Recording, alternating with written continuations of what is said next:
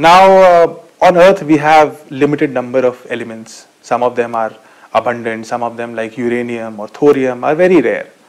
But as we go on to other planets, uh, comets, asteroids, and we dig material from them, we will have a vast array of material.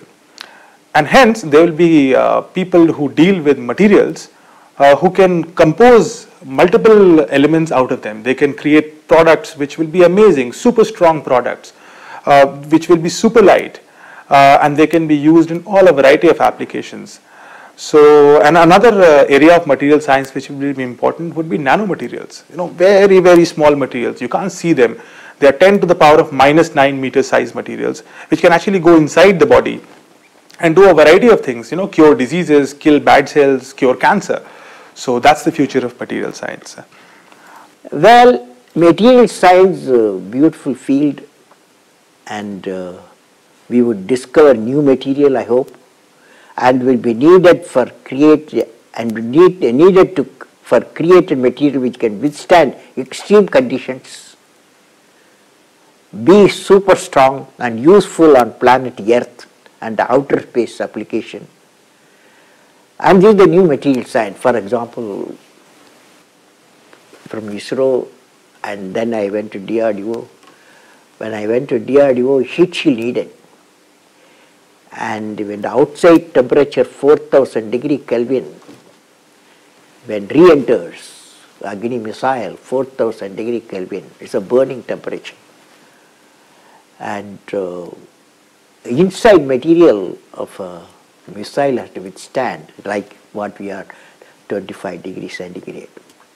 So we have designed a material called carbon-carbon heat shield for certain portions. That will protect the system inside the heat shield, whatever the temperature it experiences during the hypersonic flight.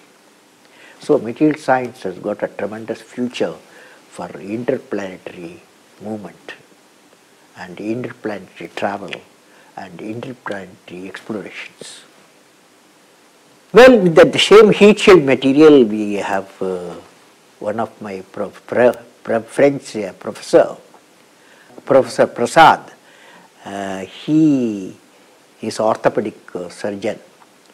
He saw that heat shield material so light. He said, why not you use the missile material uh, to the calipers, that is for the polio patient children were wearing 4 kilogram calipers to walk. And children found it very difficult because it was very heavy.